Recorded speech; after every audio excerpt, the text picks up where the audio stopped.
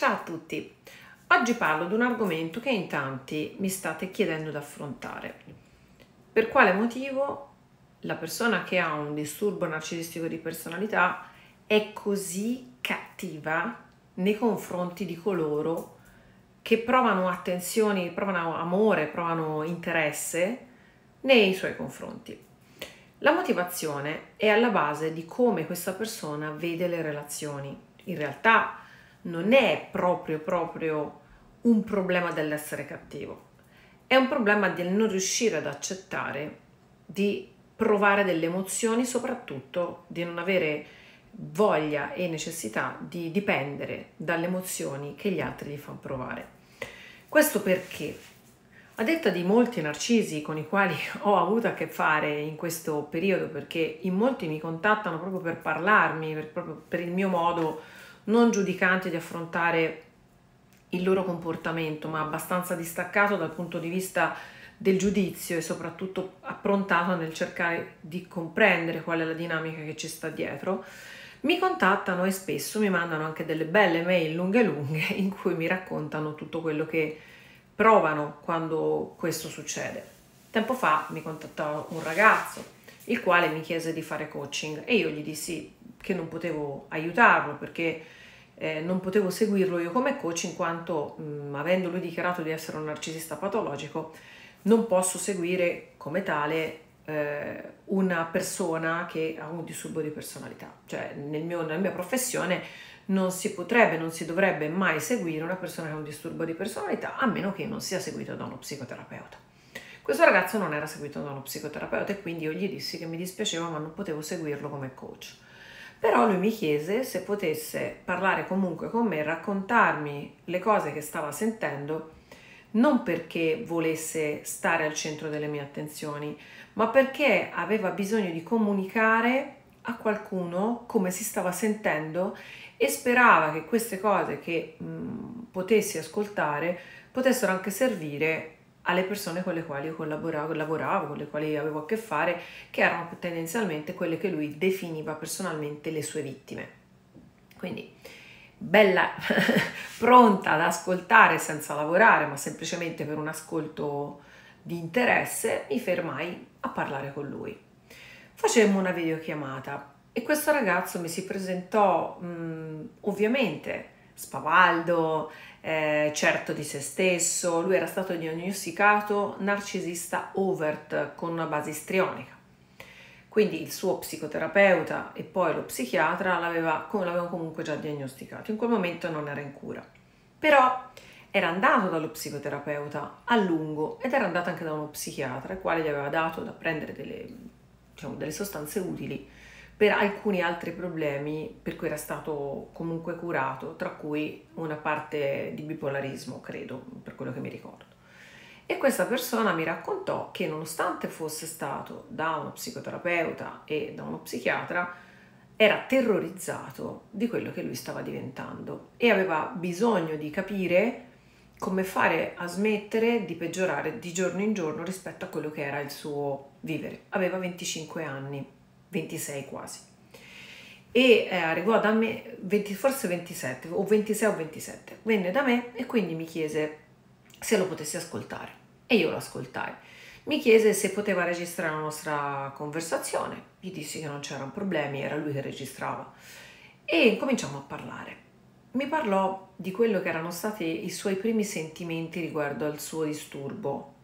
Si era reso conto quando era giovane, aveva poco più di 16 anni di essere diverso dalle persone che aveva accanto perché soffriva se eh, vedeva gli altri felici e era felice se gli altri soffrivano.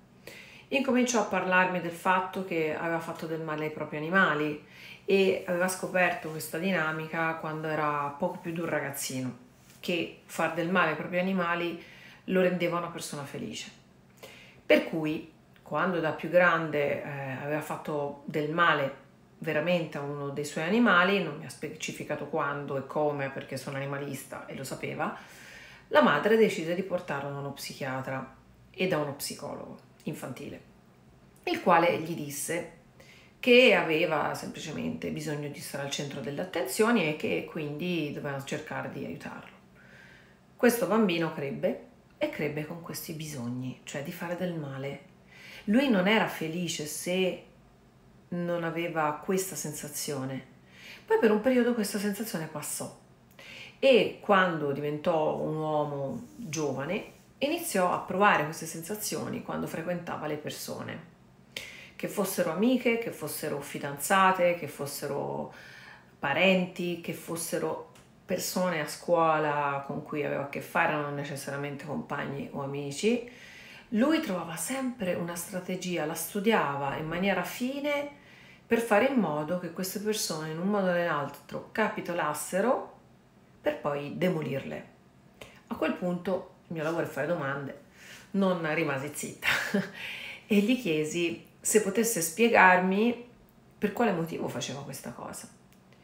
E lui mi disse di non avere dei genitori disfunzionali, mi disse che gli era stato spiegato che la sua patologia era quasi sicuramente per un qualcosa che era legato più alla famiglia o allo stato sociale o al modo in cui aveva, vissu- eh, aveva vissuto che ad altro, perché dal punto di vista, vista um, biologico non c'era niente che non andava. Però questo ragazzo non riusciva a trovare una soluzione, perché i genitori erano sempre stati presenti, era, era vissuto in un ambiente tranquillo, non c'era stato nessun momento in cui si era sentito motivato dall'essere diverso dagli altri, eppure più cresceva e più questa sensazione di dover fare del male agli altri diventava enorme e non capiva il perché. Quindi quando arrivò da me era disperato perché aveva provato a parlare con tante persone e poi alla fine non l'avevano compreso, probabilmente non l'ho compresi nemmeno io.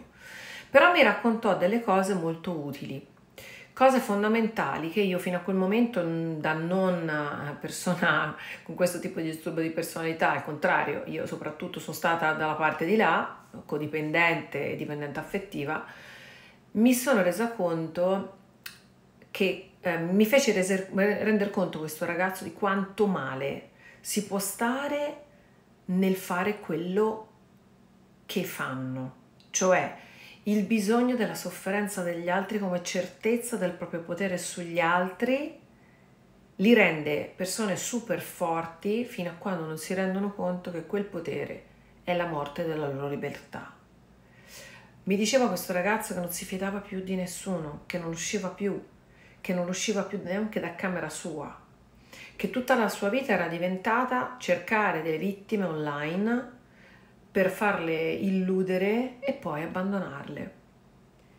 Io gli ho chiesto se fosse felice così e lui mi ha detto che ovviamente non lo era. E io gli ho chiesto quale sarebbe stata secondo lui la felicità. E lui ha risposto essere una delle mie vittime e capire che cosa si prova nell'amare un mostro come me. Questa parola mostro purtroppo L'ho sentita dire anche da un paio dei miei ex narcisisti che quando poi alla fine ci siamo lasciati, uno soprattutto mi disse fai bene a scappare da me perché io sono un mostro e tu non meriti niente di tutto ciò. Mi disse anche il mio ex che mi invidiava il mio modo d'essere, che non era ingenuità, ma era la trasparenza con la quale vivevo le mie emozioni senza averne paura. E alla base di queste persone, dentro queste persone, fondamentalmente per quello che viene detto dagli psicoterapeuti, ma per quello che si legge su molti dei libri che ci sono in giro, ma, ma soprattutto per quello che io ho sentito dire da loro stessi, c'è un timore infinito di provare delle emozioni che poi ovviamente diventano pericolo per loro, perché non essendo controllabili non si permettono di poterle controllare, se non hanno il comando sulle emozioni e quindi il potere sulle persone, non si sentono persone al sicuro. Quindi tutte le volte che cerchi di fare qualcosa, di amarlo a tutti i costi o di amarlo a tutti i costi, in quel momento se non è pronta o pronto a cambiare per se stesso, non lo puoi aiutare, lo puoi solo terrorizzare e la puoi solo far allontanare di più. Quindi ricordati che al centro del tuo mondo ci devi essere tu e non devi mai salvare nessuno che non voglia essere salvato, quindi che non te lo chieda per primo. A presto!